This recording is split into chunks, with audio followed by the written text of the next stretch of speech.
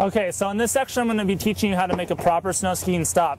With your body in the proper stance, with your arms up and your legs shoulder width apart, what you want to do is take your downhill ski, so in this case, my left hill ski, and put enough pressure on it to come to a stop. It's going to be similar to how you made the turn, lifting some of the pressure off the uphill ski and putting more pressure right here. And it's going to make it so you're making the turn, but you're making the turn so hard that it's going to make it so you actually come to a stop, similar to as if a figure skater or a hockey skater would actually come to a stop on ice. You're going to want to dig your edges in like this and make sure that your legs stay shoulder width apart so you don't catch your edge and fall forward or slip out because your legs are too far apart. And that's how you make a proper snow skiing stop.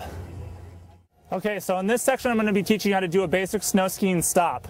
It's going to be very similar to the way that you actually make a turn in that you're putting pressure onto your downhill ski.